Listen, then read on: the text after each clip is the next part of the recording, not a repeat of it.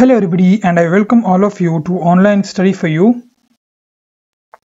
This is a video on the pseudocode mock test. So this mock test can be used to prepare for companies like Capgemini and other companies which conduct pseudocode based examinations and uh, before attending this mock test it is advised that you go through our pseudocode course which you can buy here so if you bought it already you can continue to watch it. Otherwise you can just go to your our website onlinestudy4u.in and head over to this premium video materials option.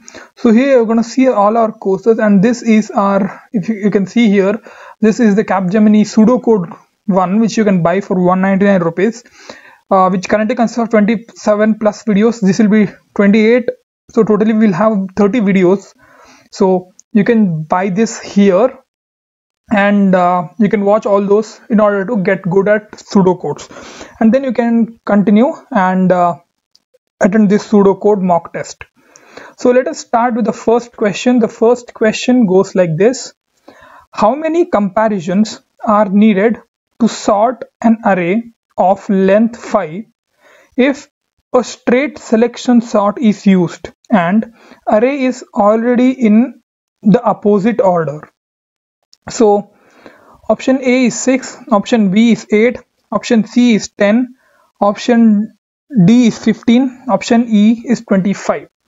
Now what they're asking here is, so if we want to sort an array of length n is equal to 5 and we are using a selection sort, straight selection sort is nothing but a normal selection sort on an array we are using a selection sort and another important thing that we have to notice that the array is already in opposite order.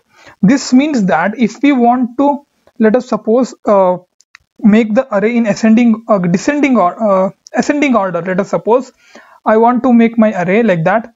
So i have five numbers. Let us suppose 1 comma 2 comma 3 comma 4 comma 5 are these numbers. My array should be my array is in this condition. That means it is in totally opposite order. So it is in totally opposite order means it is in descending order. I want to make this to 1 2 3 4 5 okay this should be my goal. Now how many comparisons will i make? So what do i do in selection sort algorithm is that in every iteration i'm going to consider the first element as already sorted. Okay let us suppose I will I will take a variable called min and I'll store the first element here. Here I'm not comparing. Okay. Next, what I'm going to do is I'm going to compare this min with this 4. Okay. If the value of this uh, way, here, whatever the value of array is less than the value of min, then you're going to swap it. Since it is lesser than that, we're going to swap it. And what we're going to do is we're going to write uh, so this sorry this 4 remains here itself. So this 4 comes here. Okay? Next we compare it with this 3 so since 3 is less than 4 this 3 comes here. Again we are comparing with this 2 so what happens? Since 2 is lesser than that uh, lesser than 3 2 comes here. Again we are going to compare this 2 with 1 so 1 is lesser than that. So the value of min is going to be 1 at the end of this iteration first iteration. So since this last value 1 is uh, this value is less uh, lesser than the value already we have here what we're going to do is we're going to take 1 here and put it here. And we're going to take 5 and put 5 here. Remember 1 2 3 4 we already made four comparisons okay? Next what we're going to do is this is sorted okay? Now this part is sorted whatever is there on the left now what we're going to do is we're going to take 4 as min and we're going to compare it with these three elements so okay? We will not do the whole sorting process but what we want is the number of comparisons. So we consider 4 as sorted and we'll compare it with these three elements. So what we'll do is we'll, we are doing three more sorting operations comparison operators that is this this and this. Now what happens is in selection sort your 4 uh, your 2 will come here and your 4 will come here essentially okay? So now this part is sorted. Now what you're going to do is you're going to consider 3 as already sorted and you're going to compare this 3 with this and this. So you're doing two comparison operators okay? Now what is going to happen is your uh, 3 will not be exchanged 3 will remain here but you are doing the comparison okay? Next what you'll do is you are taking 4 here and you're comparing it with 1 this 5 so here one comparison you'll do. Then at the end of this now the array will uh, now the loop will end. How many comparisons have you made? 4 plus 3 is 7 7 plus 2 is 9 9 plus 1 is 10 so totally 10 comparison is done. Okay? That is how you do solve this using selection sort. So option c 10 is the correct answer okay? So while i'm starting to solve this question if you want to solve this as a mock test you can pause you can solve by yourself get the answer and then continue the video. So c10 will be the correct answer.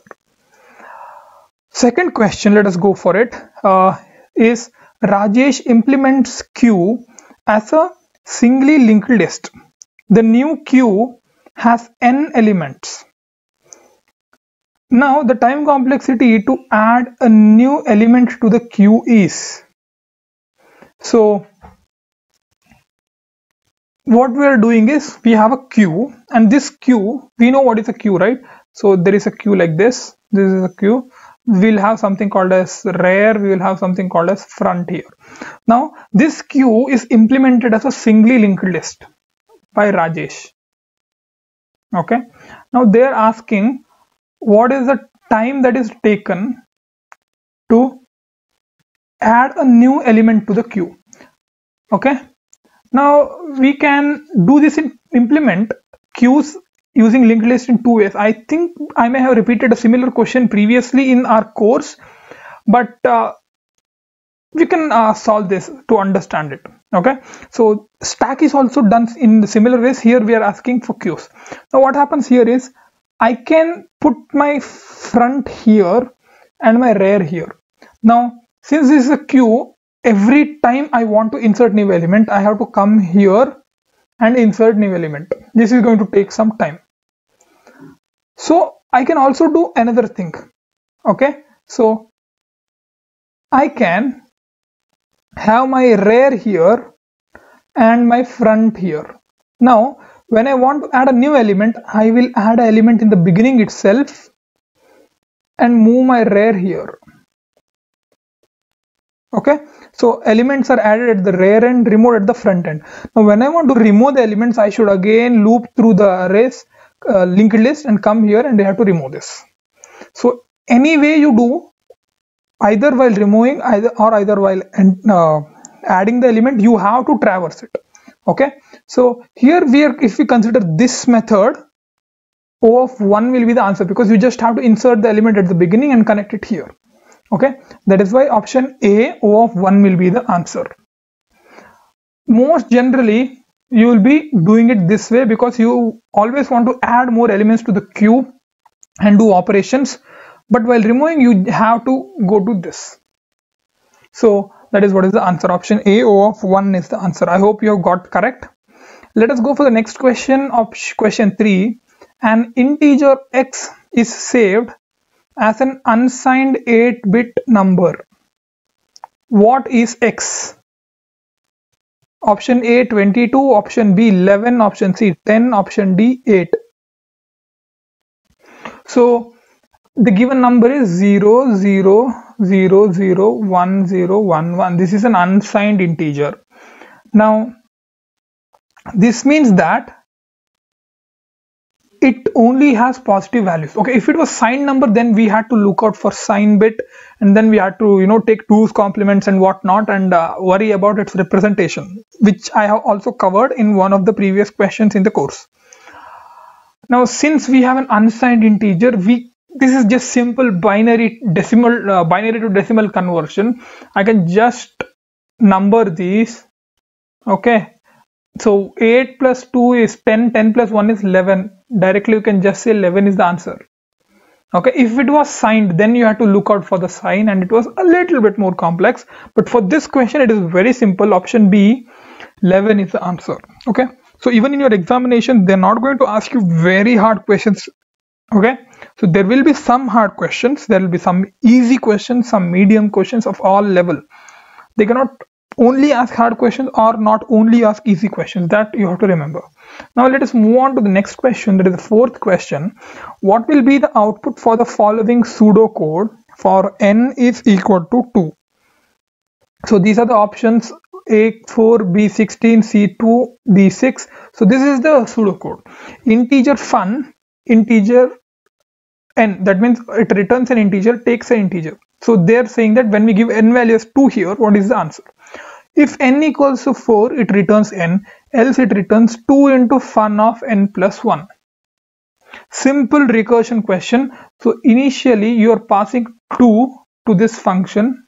The value of n is 2 so if n equal to 4 it returns n. Uh, otherwise it returns 2 into so it returns 2 into fun of n plus 1 so n is nothing but 2 2 plus 1 is 3 so whatever the value comes from here value that is returned by here it will multiply that with 2 and return. Okay now what is the value of f of 3 here we are passing n as 3 if n is equal to 3 now what happens here is if n equal to 4 it will return n. Otherwise what it's going to do is it will return 2 multiplied by f of n plus 1 that is nothing but f of 4 so that is nothing but f of 4 value. Here 4 is passed. When n is equal to 4 return n. So n value is 4 so it returns n.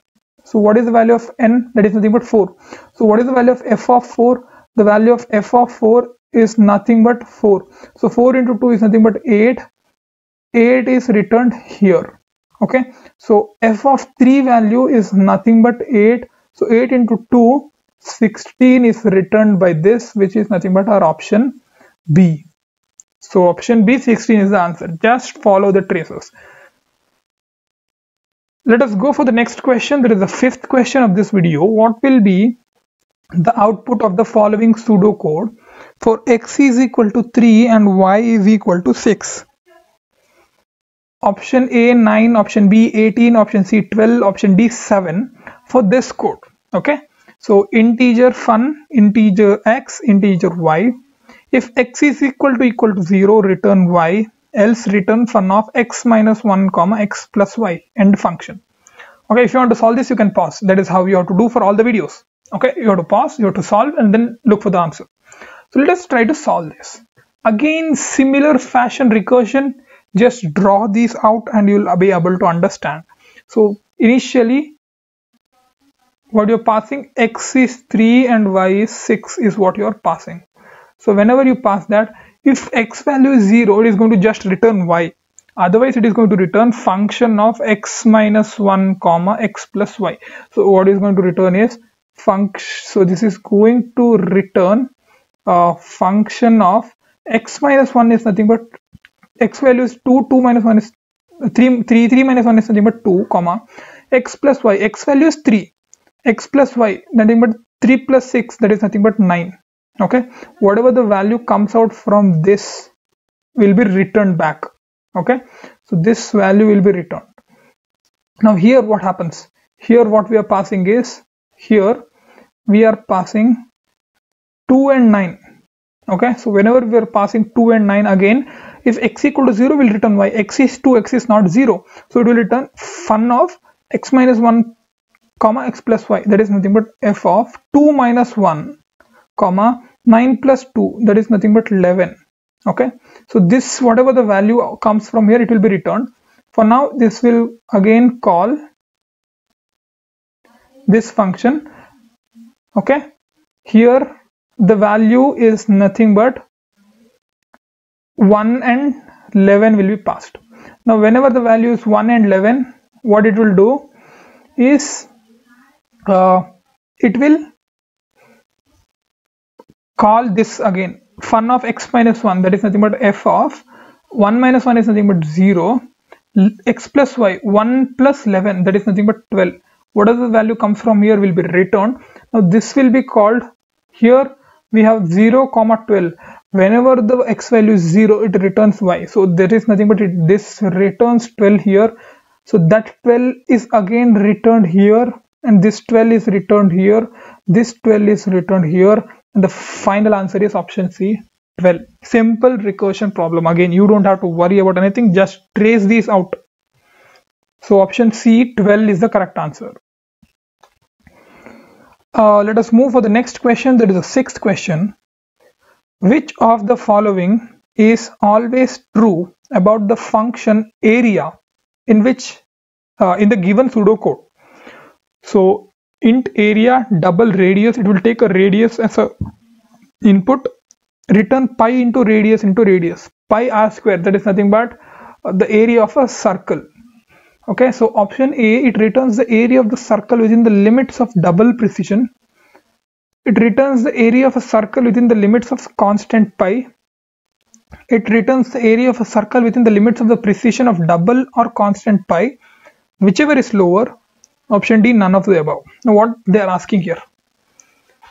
So here we have a function which takes uh, argument called radius which is in double. This is important now it is calculating pi into radius into radius. Here pi will be the value of pi that is nothing but 3.142 you can consider it up to any precision okay? Here we have considered it up to three precision points that is 3.142 you may consider it ne next value. I am not sure about the next value. Let us suppose that is 7 here the precision is 4 because we have four uh, numbers after dot. Here what they're asking is option A it returns the area of the circle within the limits of double precision. So double will have some precision. Let us suppose float accepts six digits after dot. That is the precision of float. Then double will have the precision of 12 okay? It is not the actual number. I'm just assuming this. Here they are saying it returns the area of the circle with the limits of double precision. That is because radius is double the answer of pi is into radius into radius will also be in the form of double it may not be. Because read let us suppose double will have 12 precision. You multiply this double with another double here that is what you are doing. You are multiplying this then the output precision will be something else right? It, will, it may not be 12 it will be greater than that also. So that is why option a is not the answer. Let us see what option B says. It says it returns the area of a circle within the limits of the constant pi. So let us suppose I consider 3.1 as the value of pi. So option B saying that the answer will also be having only one digit after mm, uh, this dot. That is the wrong answer. Okay, it is not in the uh, limit of constant pi. Let us see option C. What is it saying? It says it returns the area of a circle within the limits of precision of double or the constant pi, whichever is lower. Now here this is saying that it will return the answer will be in the precision of this value radius or this pi whichever is lower. So this has 12 and this has let us suppose pi will take as 3.1. So this has precision 1. Now it is saying that 1 will be the precision which is also utterly wrong okay it totally depends upon the value of this radius that is why none of the above is the correct answer for this question option d none of the above is the correct answer. Okay to understand this you must know at least the basics of how data types and uh, multiplication addition of the same data type different data type works how type conversion happens when you multiply or add uh, variables of different data types. There is something called as implicit implicit time type conversion explicit type conversion. Okay implicit is done by the compiler itself and uh, ex explicit you have to do it. User has to do it. Or the programmer has to do it not user. Okay? So that and all you need to understand. Okay? That is all covered in our uh, c programming course as well as in data structures course. You can refer that. And for these kind of different pseudocode question you have to refer to our pseudocode material which is uh, shown in the website. So that is it in this video thank you for watching online study for you. Keep watching our videos to prepare for interviews and examinations. Thank you